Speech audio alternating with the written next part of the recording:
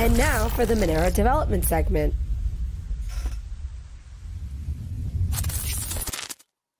I'm nasally, but I like it. it's different. Look at him. So- And then he's saying, I'm picky. Look at that. Hi. What's up, man? How's it going? How y'all doing?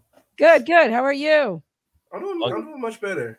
Good, good. Yeah, Yeah, you were sick, Last, last week. Hey, yeah. oh, no. Felt so bad. How you feeling You right back in now?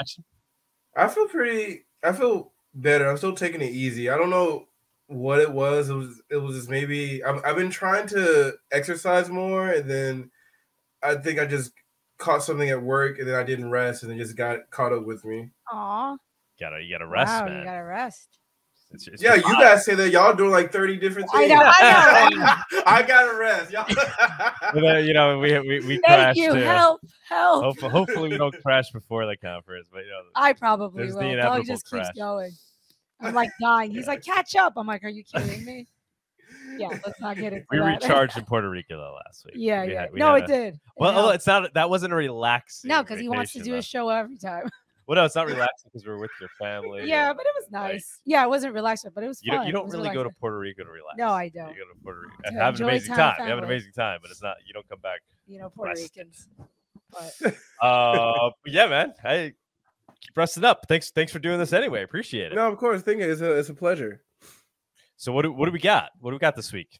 Um, so we have, I think Rucknium has been covering the impact of Mordinals. I think for the past, pretty much, I think since they went live, I think he's been covering them because in the in the past videos, as you mentioned, um, or Mordinals, Monero NFTs are only harmful at like certain levels. So um, Rucknium has recently put out a great Reddit post about all their research they've been doing I believe at least over the past month. I think it goes back a little bit further than that also. So we're just going to cover the impact of that and pretty much overview um Rucknium's report. Awesome, awesome. Yeah, I saw his Reddit post. It was it was, it was really cool. I mean, it um Yeah, the, the data he used to explain things was was was really interesting and then just he just kind of for me kind of explained things in a way where it hasn't really been explained yet to me in that in that fashion where I kind of understand the impact a little bit better in terms of how abnormals are affecting the decoy selection essentially. yeah. I would say um is they're a great like educator, also like great developer, great statistician. It's amazing. All the beautiful graphs. All it's it's just like a a plus a plus Yeah, word. he, he is awesome, man. He is awesome. I think he came. I think he was originally from like the Bcash community, and then he found an interest in Monero a few years ago. Or I don't. I don't want to misquote or misstate, but I'm pretty sure that's kind of like what the history of Rucknium was. And he's been he's been uh, pretty involved for a couple of years now, and he he has yet to uh, publicly come out, but he will be. Which you know, not not encouraging him to do so. I, I like that he's Mhm. he's, he's lurking and, and hiding. Um, but uh, he will be presenting at Monerotopia remotely. He's going to uh, voice disguise and do Oh, okay. Or I think, oh I didn't realize that. Okay. that's yeah, cool. yeah, yeah, yeah, yeah. anyway. He's You've yeah, he's been not. talking to him. I haven't. Yeah, he's not revealing himself. Um, he's going to do, I think, text to speech for his for, and then and then he'll be doing Q and A as well with text to speech. So very cool. And he's Oh, he's gonna be a fast typer. I know. he's got to be like. I don't know how he's gonna do it, but you That's know, pretty cool. he's he's a pretty impressive dude. So I'm sure he'll pull it up. Would you do an interview, Doug, with someone who was doing like a Monero talk interview with someone who was who was um doing like voice to text or like something Yeah, like sure. that? Of course, Sure. yeah, yeah. Oh, I was just curious. I, I I don't remember in your backlog. We have so many. I don't. Oh, have I? watching one. Oh, Have have I? we? No. Uh, well, no, we had we had somebody on that was voice disguiser. completely was completely blind. Remember? And, and Oh, I mean, Oh, this is kind of a different, right? And he, yeah, he was uh, right. Remember, I forget that? what that was. Yeah, no, you're right. You're right. No, I think it. wa- Yeah, Yeah, it's pretty cool. he was cool. I mean, we've obviously had people come on anonymously and disguising their voice and whatnot. I don't think we've had somebody doing a No. text to Just that maybe I think we did. person, I but I think he whatever. was but yeah, like, totally open to it. Obviously, that was a Anybody Monerotopia episode. He was Yeah, on was live. Monerotopia Yeah, episode, yeah, yeah, yeah. You know. ah, okay. Um, yeah. Take it yeah, away. I want to get into the Mordinals. We can talk about this show, the, the Monero Talk show later. I have a little bit at the end of, end of the slide about Monero Talk. Big fan. But um, so yeah, I have the slide here. How bad are Mordinals? unfortunately for the people at home that are listening and not watching, there's gonna be a bunch of um slides courtesy of Rucknium, but you won't be able to see them. So I'll try my best to explain them. But if you can, it'd be probably much better for you if you were to able to watch this. But basically, the presentation today is going to be how bad or Mordinals, and for anyone who like, unless you've been underneath the rock for the past like two months, you know what Mordinals are. For anyone that you know late to the game, oh, a Mordinal is a Monero NFT essentially. So we're gonna see how bad they are for Monero's privacy right now. And all of this stuff I'm talking about right now comes, I literally copy and pasted it. So I gotta cite my sources from Rucknium, like we said. They're gonna be the Monerotopia, and they do great work. I have a couple Twitter threads about them. They're they're amazing. So this all my information comes from them. You can go to Monero right now, Monero Reddit. I believe the post is still like in the top five posts right now. So if you search his title, it'll show up. It's an amazing post. But let, let's get into it. So basically, um, this whole um, paper or presentation talks about black marble. You might ask yourself, what is a black marble? Well, first, to understand what a black marble is, you have to understand how Monero provides privacy. And one of the ways Monero pro- provides privacy is when you send a transaction, it actually hides the um, outputs of that transaction by including different other output or inputs, sorry, inputs of the transaction. So it mixes your coins with others' coins. On this graph here, I think there's only like a couple, but right now it mixes it with other 15. So when you send a transaction, it, it goes to the blockchain and randomly picks, or not randomly, there's a specific method that it picks other inputs to, to tie into your transaction. But as you can see, if let's say, for example, if you were to pick 16 inputs or 15 inputs that were bad, right, you would basically get no protection. So there's this relationship with outputs or inputs, things like that. So what is a black marble? You can see here a black marble, and, and this one is a transaction input that is bad in the transaction. And for example, there are many different things that could be a black marble, but for right now, all you need to understand is that a black marble is a bad input chosen essentially. Any questions so far? Am I going too fast? No, no, no. no. Good stuff. Good stuff. And then, so like you said, um, right now the, the ring size of fit, you take 16 inputs into the ring size, but you actually have an effective ring size.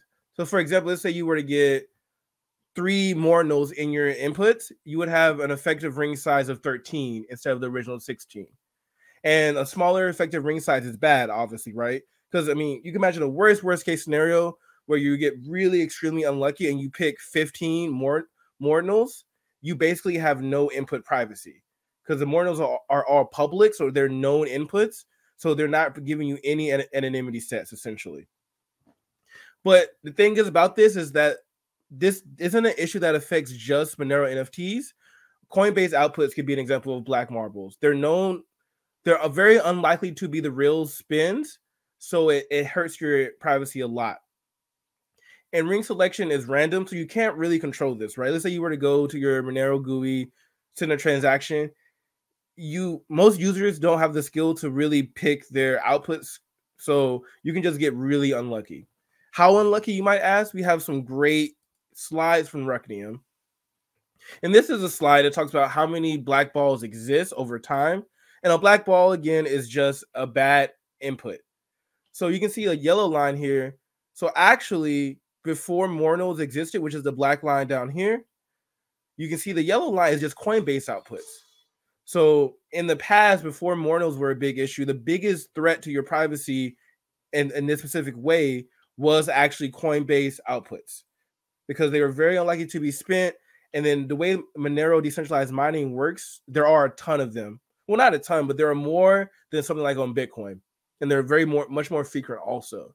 So you can see this graph here, and in the first line is when Mordinals come into existence. we should say too that uh, that orange line, right, where the Coinbase black balls plummeted on March. Oh yeah, March fifteenth, because there was a new implementation with P2Pool, right? Yep. Uh, I guess redo. I don't. I don't really understand exactly what was implemented that reduced the effect of the black balls coming from Coinbase. Maybe maybe you understand, but uh, apparently I, I, something that reduced the effect. Yeah, I believe they just condensed them and issued Coinbase outputs less often. I'm not sure though.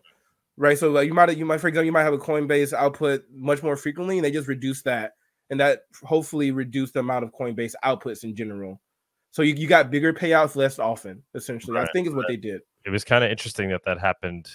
You know, so they kind of solved the Coinbase blackball thing right before Ed Cardinals, and then two days later. That's But, how uh, life goes, though. Sometimes you know you solve one thing, there's there's always something popping up. Yeah, But yeah, yeah, like you know, you're doing a great job. But yeah, I think the moral of the story here for me overall, when I when I read Mhm. Ruck Games posts, is you see how the minute, you know, privacy is a constant battle. We always say it. yeah. And now you could actually see that statistically, right? Like that. Oh yes. Here, here we are losing the battle for a little bit, and then boom, kind of a breakthrough, uh, new implementation, and we've gotten rid of these black balls. All right, then there's Immortals, and boom, you can see a drop off there as well, right? So Yep. um, I think that's kind of the, the the biggest takeaway for kind of noobs who are wondering what this all means is that we're going to constantly face these issues, and the uh, most compelling part of all this is that the Monero development community is constantly actively trying to uh, thwart them and effectively doing so. But go ahead, man. Yeah, so like Doug said this slide beautifully. Um, over time you see the different things battling for, I guess, being the the worst black ball. You had Coinbase, then you had Mornos come and take over. Then Mornos went down because no one really used them as much. Then you had so I left Coinbase down here. But as Doug said, right, we've gotten much better. If you go back to the left side, that's where we were there. But now we're down here around the 10%. So much better. But once again, in order to understand how your privacy is hurt, you have to understand that you, you take inputs into your transaction, which high which output you're spending. And then if you get one of these bad black balls, that can actually reduce your ring size essentially. So, but on average, you might ask, how much is my privacy hurt? So on the on the left of this graphic by Rucknium, you can see at the top you have 16. Monero's default ring size is 16. So that's a that's I believe the minimum you can get. So everyone had 16 here. Monos didn't exist. So you can see on the, on the left, you have the effective ring size if you only consider Monos, for example. So if you go to the black line here, sorry, like I said, it's gonna be very graph heavy for the people listening, but I'm trying my best to um, translate the graph for you guys. But over time, you can see how different things affect the ring size. So if you started out Mornos where it didn't exist, so they had no effect on the ring size. So you actually got the full privacy of the 16 outputs. And you can see down here coin um, the Coinbase outputs. If you go to the far right here, you can see actually Mornos went went away. So the Coinbase um, effect or the more Morno output effect on your privacy has decreased. So you're almost back up to 16, but not exactly. And the biggest threat right now is going to be just the Coinbase outputs. But once again, the Coinbase outputs are much better than when they started. So I want to be clear about that. Just an overview about the history. And this is the worst worst case scenario. So on the last slide was the average, and the worst case scenario right now is going to be, I think it's five percent um, deviation. So the worst case right now is going to be um, still Coinbase again, and, and the worst case scenario you can get is probably going to be somewhere around 12. So you're still pretty private, right? 16, 12 out of 16 is not like the worst thing in the world, but we're still working to improve it, like Doug Right, said. we're- still above the mm-hmm. previous ring size. Yeah, 11. We're still above pre-ring size. So this all of this, like Doug said, the summary for people at home looking for a, a quick TLDR. Monero's constantly growing and constantly improving its privacy features. And and yes, we did have drama around more knows, but we are still in a better place than when we started a couple months ago, actually. So the privacy of Monero has actually increased based upon these statistics. Awesome, man. Yeah, and and a quick how do we fix this permanently? Right there, I think um as Doug has shown via his various interviews, there is no like correct fix, you know, just a less wrong one. And Rucknium finished off his post with some options. Option A would be to exclude Mordinals from decoy selection, but a lot of people are upset with that option because it sort of condones Mordinals. You know, they sort of brings them into the protocol and accepts them, and then like, oh, we're gonna think about the protocol, how we design our protocol. And a lot of people don't like that idea. And yeah, then, I think yeah. also says that that becomes kind of a cat and mouse game too, where yeah, then it, you could exclude it in one way, but then it can, uh, you know, reappear in another way where the exclusion, where it gets around the exclusion, right? Yeah, then you have another option is like prevent the transform Whack-a-mole. which leads back to other issues, and you can also alter TX extra rules. And the one that I think everyone agrees with, right, right, the, the most one is just increase the ring size, right?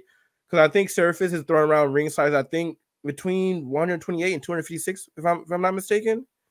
But so right, we, we- we're talking about 12 and 16. 256 is so much bigger, and that would be such a much better improvement.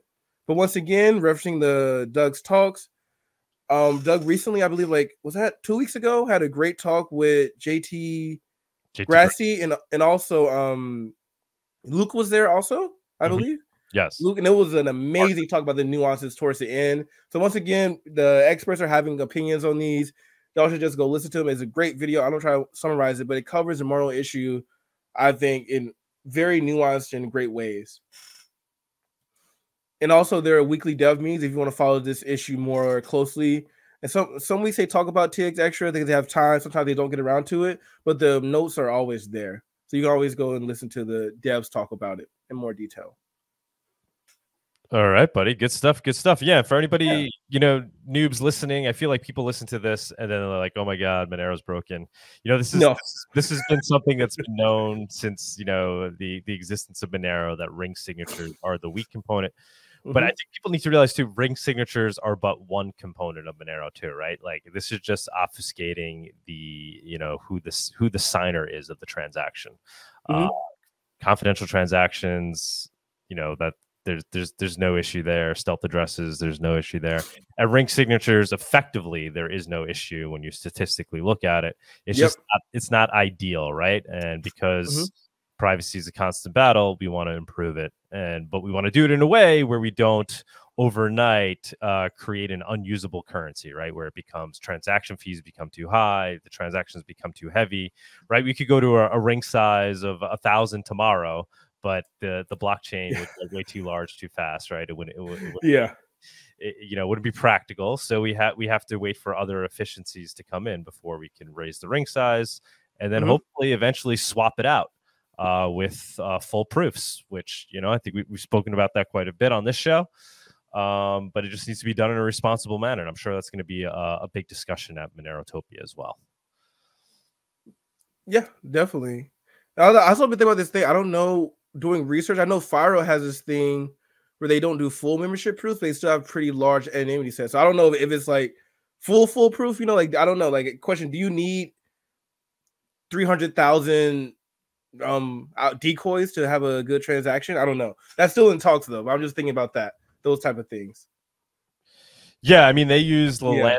Which is basically Mhm. Ser- you know a version of Seraphis, is wh- which is what Monero is going to be uh, implementing. I think that's what you're referring to. Oh yeah, yeah, yeah. I just don't know if it is like Firo currently doesn't have full membership proof. I don't, I don't know if you need them to have great privacy. Is a No, they're- question. You they're probably just- need bigger. Yeah, Yeah, the Lelantus Spark. They just have a much larger ring size. They don't have yeah. Basically, the yeah, basically, yeah. yeah, which is what we'll get with Seraphis as well. Oh yeah, Um, I'm excited. and yeah, koe, koe will be down there. I freak. Dude, are you coming to Monerotopia? You Yes, yes. All right. Awesome. I got my. Um, I know there's a bunch of fiasco with the passport, so mine came early. Actually, I don't know what's going on. I just, I just got lucky. But Yeah, yeah, there was another one too that was like waiting, and he, yeah, four weeks, which was nice. yeah, Yeah, yeah, yeah. Yeah, People, nice. fingers crossed, people are actually getting their passports, which is Pretty which is crazy. fantastic. But yeah, we, we're hoping to have uh, a panel. You know, we'll talk about kind of the future development of Monero, and you know, we're, we're going to have koe down there. He's going to give his own talk, but we want to put him on that panel. koe is obviously he's developing Seraphis. We just spoke about Luke Parker. Luke is, you know, genius whiz kid uh, that's that's building Serai, but also understands Monero tech really well and is a Monero dev. So we'd have him on that panel. Uh, maybe get Justin Ehrenhofer on there. Just kind of talk about the the future of of Monero and like this idea of developing uh, you know full proofs into Monero, how practically how that might come about and when we could expect to see that. So that should be cool. Oh, I'm so excited. Yeah, it's gonna be good, man. It's gonna be good gonna be with, jam with the mar- fresh margarita in your hand that you purchased Yes. with Monero. I mean, it's it's you know you it's you can't beat it. You can't beat good. it. go rest up, man. Go rest up because we're uh, we're gonna need you. I just say the same thing to y'all. Telling. All right, Oh. See you.